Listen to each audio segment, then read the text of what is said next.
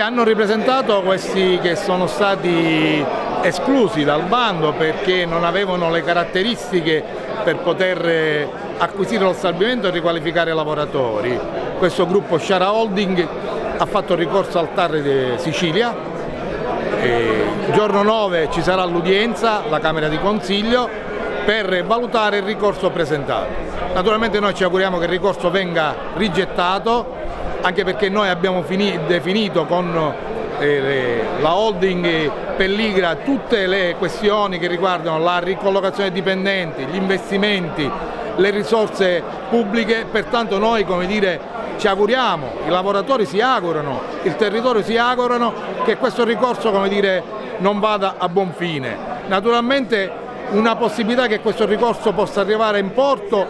diventerebbe un problema serio per la ricollocazione dei dipendenti e per la reindustrializzazione perché l'eventuale blocco dell'assegnazione, ricordiamo tutti che il 4 novembre scade l'amministrazione straordinaria della cassa integrazione e se non dovesse, eh, se ci dovesse essere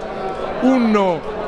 un blocco o un'accettazione del ricorso questo potrebbe creare problemi notevoli. Si bloccherebbe la cessione e a quel punto si potrebbe pure decidere di fare un, una nuova gara. Però visto la partecipazione del gruppo Sciara Holding che non ha partecipato dire, per quello che veniva chiesto al bando, eh, noi ci auguriamo che questo non avvenga, anche perché il 4 novembre scade l'amministrazione, ad oggi la legge dice che non c'è la possibilità di proroga, ma nell'ipotesi il Tribunale dovesse accettare il ricorso e bloccare l'iter di cessione, noi chiediamo al Ministero, al Mimit, al Ministro Urso di fare una norma che possa prevedere la proroga dell'amministrazione straordinaria, perché noi abbiamo già avviato tutto l'iter di cessione e siamo dire, convinti assieme ai lavoratori che quello è il percorso migliore. Ma guarda, gli ultimi aggiornamenti li possiamo dare in funzione di quella che è la percezione dei ragionamenti fatti. Per l'Igra l'abbiamo inconciato, sembra che eh, ha buoni propositi,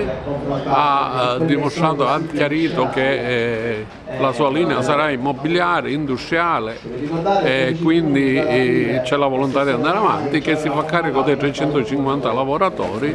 e quindi eh, occorre ora trovare il sistema di ammortizzatore per accompagnare il resto dei 190, ma di questo siamo nella condizione di poter utilizzare i 30 milioni che fortunatamente la Regione Sicilia è riuscita a trovare in quei fondi sociali che oggi sono in bilancio mentre per quanto riguarda il ricorso della Sciara Holding eh, dovremmo aspettare il giorno 9 per capire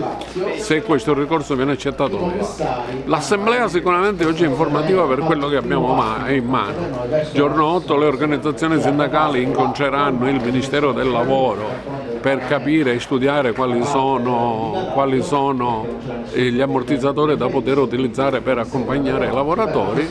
però oh, devo dire che si respira un clima sereno. Sì, ci sono state delle riunioni che riteniamo importanti perché il processo che dovrebbe portarci alla reindustrializzazione e quindi al reimpiego dei lavoratori, il percorso sta andando avanti. Ci sono ancora dei problemi tecnici ovviamente da affrontare che sono anche delicati, per questo ci sarà il prossimo 8 luglio già una riunione al Ministero del Lavoro per capire con quali strumenti poter accompagnare e gestire questa, questo processo di reinserimento e di reindustrializzazione. L'aspetto positivo è che c'è un'azienda che sembra si è dimostrata già un primo incontro molto, molto seria anche per, per quello che ha dichiarato e quindi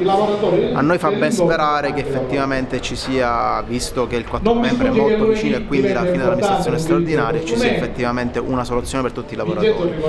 Su questo ovviamente grava quello che è il ricorso presentato legittimamente da chi non si è aggiudicato, però è chiaro che questo stesso ricorso potrebbe compromettere in maniera seria quello che è il percorso e quello che è forse l'unica possibilità eh, di di scongiurare il licenziamento collettivo che dopo 13 anni una vertenza così importante sarebbe veramente una beffa eh, in primis per i lavoratori ma anche per, per tutto il territorio di Termini Merese. È chiaro che il, il bando per l'Igras l'ha giudicato fino a 300 per prendersi anche 350 unità, quello è il massimo che lui ha dichiarato e che è stato ovviamente un punto per l'aggiudicazione del bando. Rimarrebbe fuori dal numero complessivo di, di Bluetech circa 190 unità, che ovviamente sono quelli più prossimi alla pensione, ma che ovviamente ancora non hanno il requisito per poter approdare.